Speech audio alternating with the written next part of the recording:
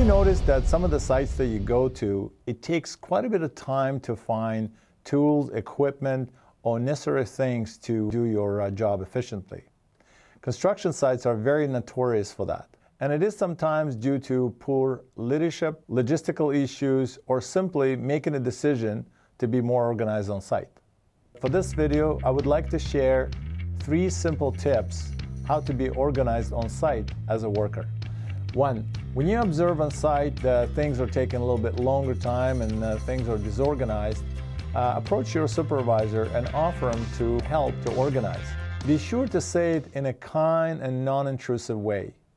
The point here is, you wouldn't walk in somebody else's house as a guest and tell them their house is messy.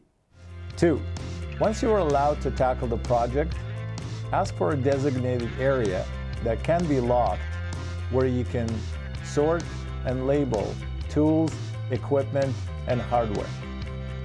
The best time to do this project is after majority of people leave the site. This project may take a few days, but be patient. The most important thing is to start. Three, prepare a list of tools and equipment that are missing and give the list to your supervisor to order. Create a tool sign in and sign out sheet and place it in the tool crib. And of course, ask your supervisor to appoint a person who would look after the tool crib. Trust me, it makes everyone's life so much easier if your site is organized, your steps are predictable, and your work is more efficient. I'm Alex, and I'm here to help you find your true north.